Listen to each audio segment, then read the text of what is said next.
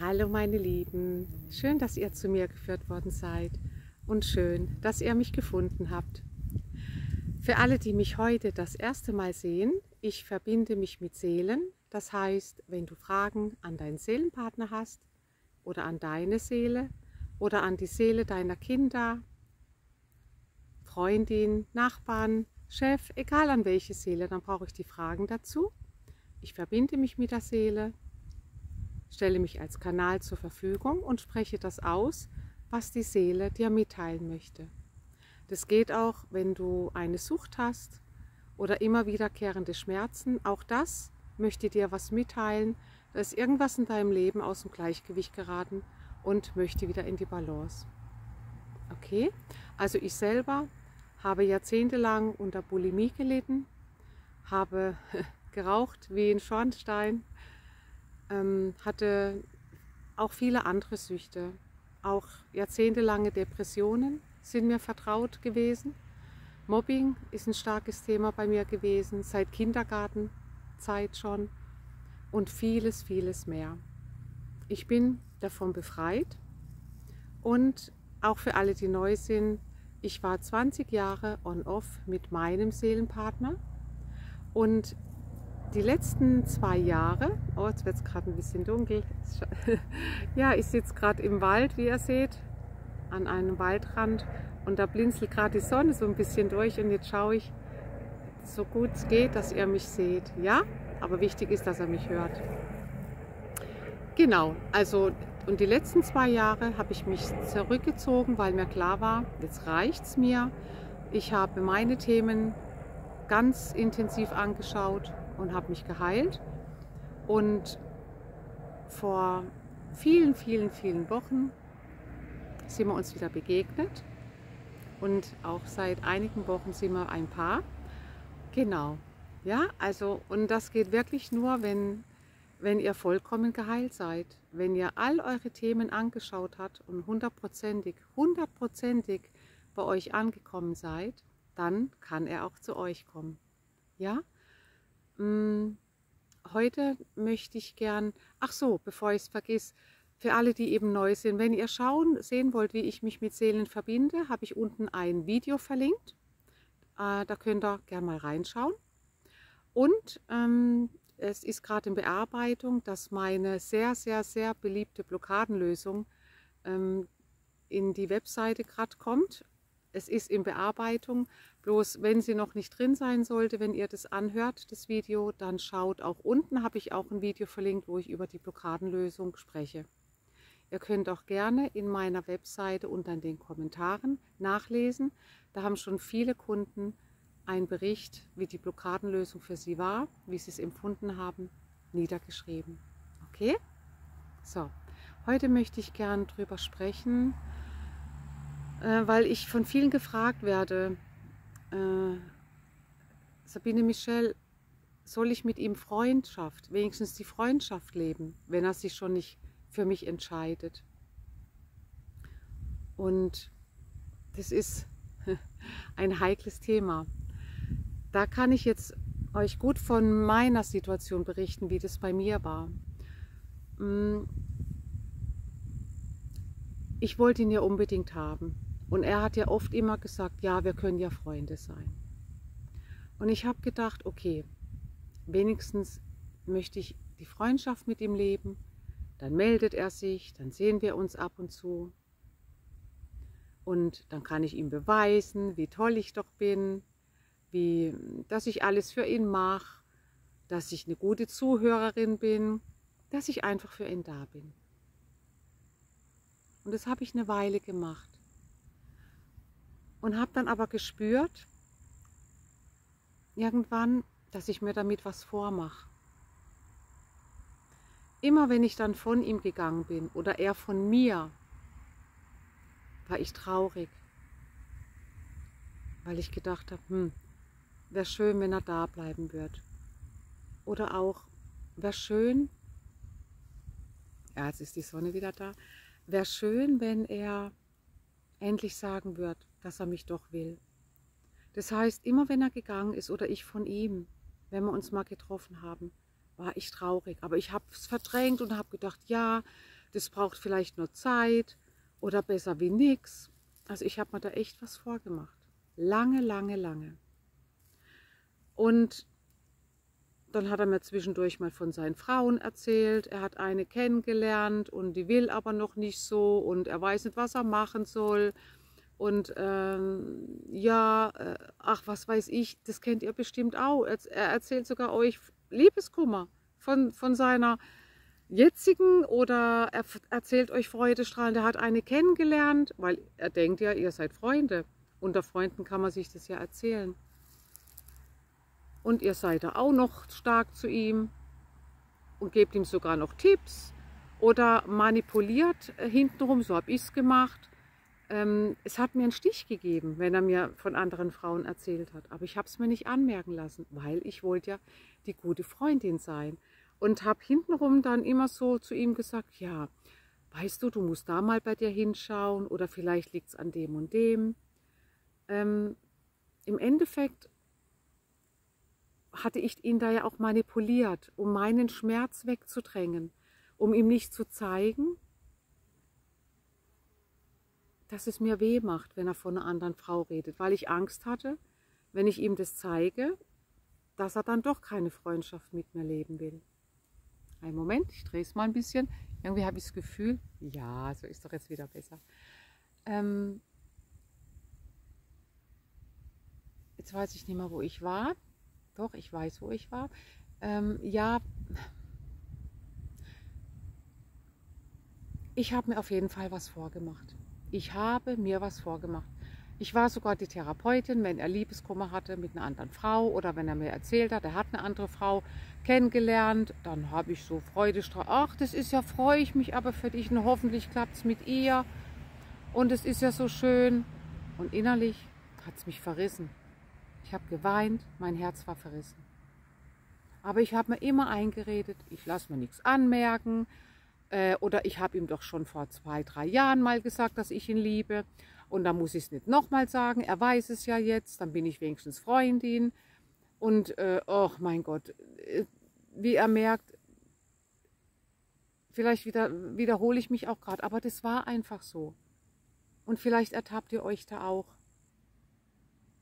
und dass es euch extrem weh macht. Und irgendwann war mir klar, dass ich das so wirklich nicht mehr ertrage. Nach vielen Jahren. Dann war wieder eine Phase, eben als ich es nicht mehr ertragen habe, habe ich es ihm gesagt, ich will keine Freundschaft mehr. Ähm, weil ich ihn, weil es mir weh macht. Und ja, das hat er aber nicht verstanden. Aber ich habe den Kontakt abgebrochen. Ja. Und nach vielen, vielen Wochen hat er sich doch wieder gemeldet. Und ich habe mich wieder eingelassen. Und habe aber nichts mehr gesagt, dass ich ihn liebe. Dass er sich mehr melden soll. Und dann hat er mir weiterhin, ja, so gemacht, wie wenn nichts mehr. Und ich habe mich wieder darauf eingelassen. Was ich euch sagen möchte, fühlt mal rein, Wisst ihr, ich kann das nicht pauschal beantworten, dass es nicht gut ist, Freundschaft mit ihm zu leben. Aber jetzt hört gut zu. Bei mir war es dann so, als ich irgendwann hundertprozentig, hundertprozentig gewusst habe und gespürt habe, dass ich ihn, dass ich jetzt auch bereit bin, eine andere Beziehung zu leben als ich an dem Punkt war, wirklich zu fühlen, wirklich zu fühlen, dass ich ihm eine Frau wünsche oder mich für ihn freue, wenn er wirklich sagt, er liebt sie.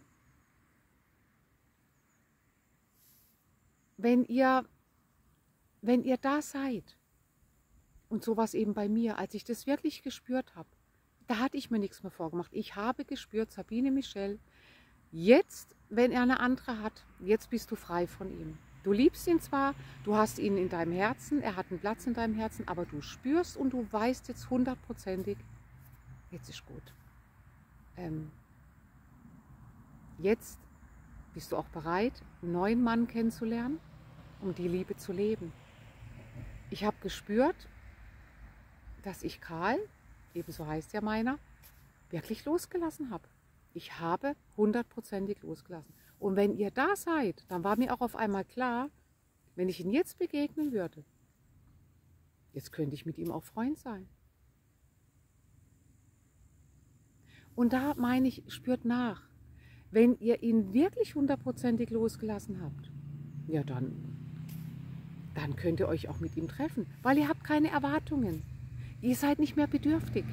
Und auch wenn ihr euch trennt, also wenn ihr am Abend heimgeht oder du von ihm oder ihr wart was trinken und jeder geht dann hinterher seine eigenen Wege. Wenn du da nichts mehr spürst, kein Schmerz, keine Traurigkeit, keine Bedürftigkeit, kein, keine Hoffnung mehr, dann kannst du dich doch mit ihm auch treffen. Aber erst dann. Erst dann. Dann könnt ihr auf Freundschaftsbasis neu anfangen. Aber das geht erst dann. Weil er spürt er spürt, wenn es nur noch ein Prozent ist, dass du bedürftig bist. Er spürt es. Dann geht das nicht. Ich habe das in den 18, 20, ich habe das in den 18 Jahren, wo ich on-off hier rein mit ihm on-off war, habe ich das ja gespürt. Aber bei jedem on-off habe ich immer mehr gespürt, oh, jetzt habe ich ihn doch mehr losgelassen. Aber trotzdem in der Freundschaft, immer wieder, wenn wir in Kontakt waren, Oh, es tut doch noch weh. Oh, es tut doch noch weh. Jetzt erzählt er mir von einer anderen. Es tut doch noch weh. Er macht Tanzkurs mit einer anderen. Ach du meine Güte. Ja, dann geht keine Freundschaft. Dann macht ihr euch was vor. Dann macht ihr euch was vor. Wenn ihr Schmerzen habt, wenn es euch nicht gut geht